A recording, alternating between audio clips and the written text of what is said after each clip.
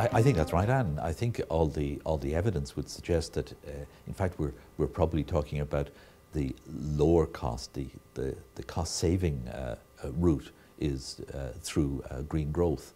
Um, studies now over numbers of years have been have been showing this that there are essential changes that have to be made. I mean, the International Energy Agency now isn't the most radical of, of bodies as an OECD uh, organization, and it talks in terms of a revolution in energy technologies over the next uh, three or four decades, and that being essential in order that we, we meet the, uh, the climate change uh, imperatives. That's, that's a challenge, but it's also a huge opportunity in, in, in working with that as, as distinct from trying to defer it, all the evidence is the sooner we grapple uh, with this uh, challenge, the uh, less costly it's going to be.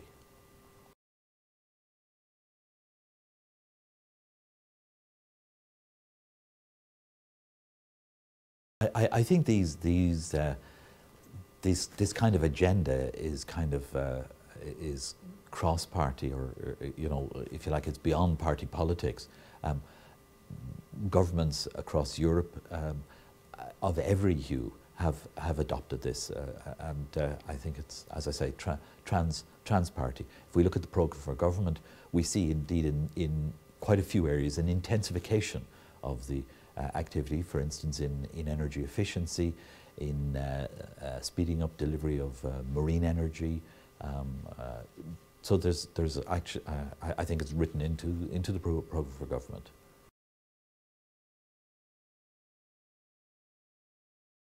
Smart grid seems, seems to us to represent a, a, a really considerable opportunity for, for Ireland.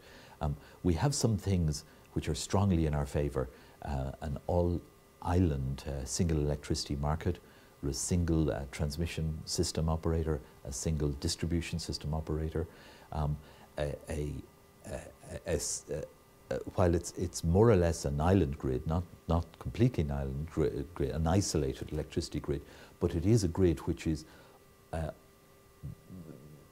it's one of the foremost uh, in Europe in terms, in terms of the percentage of, if I could call them new renewables, as distinct from hydropower and biomass, for instance, that don't present the same challenges of the, as, uh, let's say, uh, wind energy in terms of its, its variability.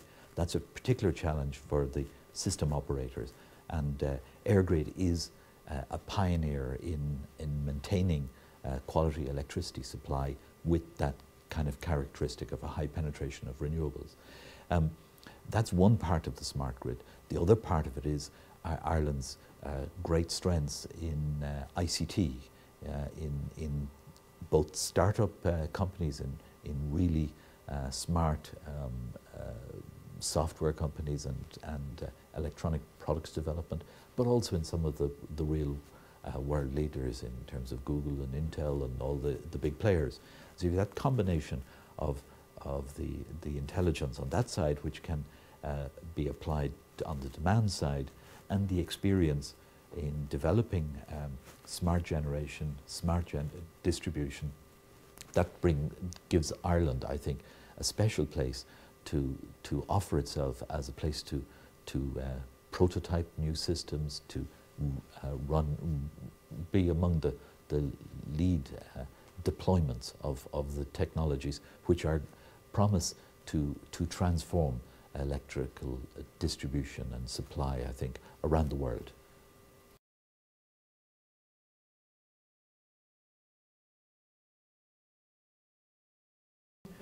Well, we've been we've been experiencing 15% uh, per annum growth over, say, the past five years in in wind.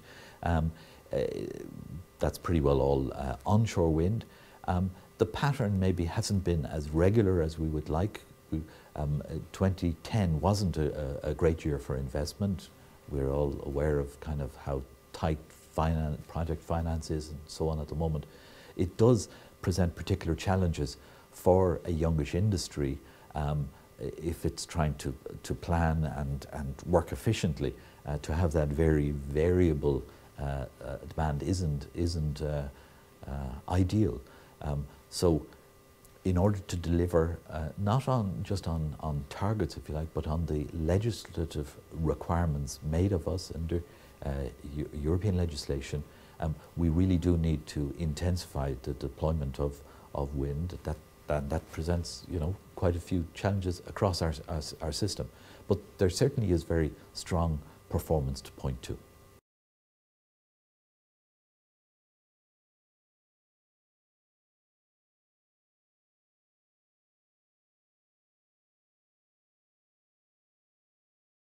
clean tech, I think, does does represent a, a, huge opportunity for, for enterprise development and employment uh, creation. I mean, we, we certainly can see it very directly in the, in the work which SEAI uh, has, has supported uh, uh, on behalf of, of the government in delivering uh, the upgrading of, uh, of the homes of, of the country, both through the Home Energy Saving Scheme and through the Warmer, warmer Homes scheme and really quite significant numbers of dwellings now being, being uh, upgraded here.